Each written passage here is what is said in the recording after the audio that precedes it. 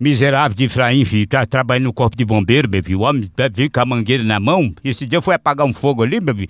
O homem, de vez de apagar o fogo, assim, incendiou mais. Tinha bebido uma cachaça ali. De vez de pegar a mangueira na mão, pegou e soltou arco no meio do fogo, viu? Efraim miserável, viu? Isso não dá nada pra ninguém, mão de vaca miserável, viu? Brigou com eu, viu, filho? Tá querendo tomar meu dinheiro, né, Efraim? Miserável, não vale nada, viu, viu? Tu não vale merda nenhuma, viu?